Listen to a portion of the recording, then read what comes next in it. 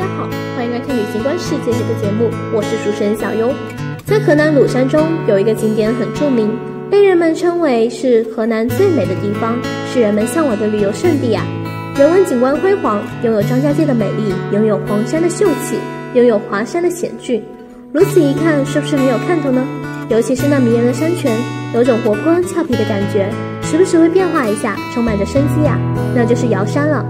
而瑶山的红叶更是一个绝字来形容，色彩不仅多，还很艳丽，有红、橙、黄三色为主，交汇在一起，真的是美不胜收，层次感丰富，面积又大，给人一望无际的感觉。这更是瑶山的一大看点呀，一大特色呀。这来回的路上，风景如画一般，让我们的心情一直都特别的好。